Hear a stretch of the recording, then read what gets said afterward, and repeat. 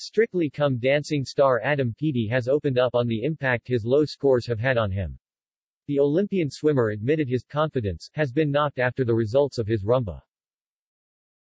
Adam was one of the guests on Thursday night's It Takes Two with his partner Katya Jones.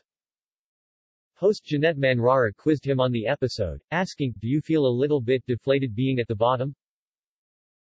The swimmer then replied, You know what? It does.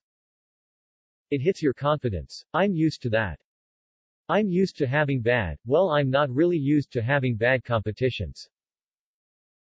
However, he added, but let's say bad training sessions.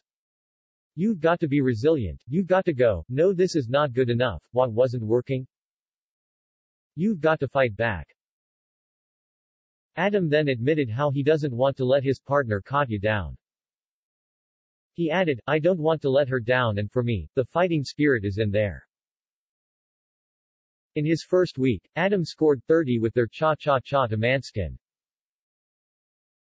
However, they've not been able to reach this since, scoring 19 in week 2 and 20 in week 3.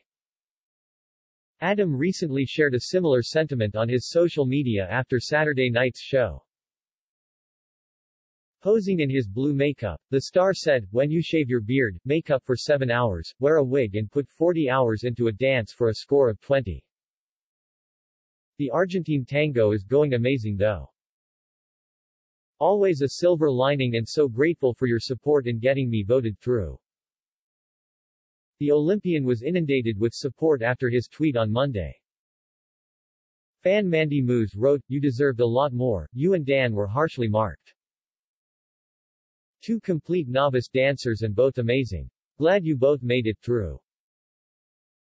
The makeup and costumes were hot. Keep being you, don't put yourself down, onwards to the next dance. Can't wait to see you tango. Nicola Fox penned, Don't feel like that, please don't feel like that. I can appreciate scores matter it's a hard thing to be objective about but it's numbers and ultimately what you put in is how the audience decide. We cheer so hard ever Saturday. Sick. You are my favorite, added viewer Carol Reese.